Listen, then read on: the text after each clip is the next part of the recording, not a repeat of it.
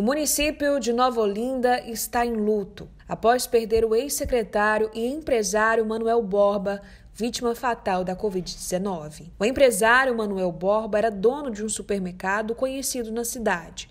Já foi secretário municipal de finanças em 2009 e era muito conhecido pela população, inclusive pelo apelido de Ceará. Ele estava internado há mais de uma semana no Hospital Dom Orione quando seu estado de saúde se agravou e, devido a complicações causadas pela Covid-19, faleceu apareceu na sexta-feira. O município de Nova Olinda ultrapassou 60 casos de coronavírus e a morte de Manuel Borba é a primeira registrada.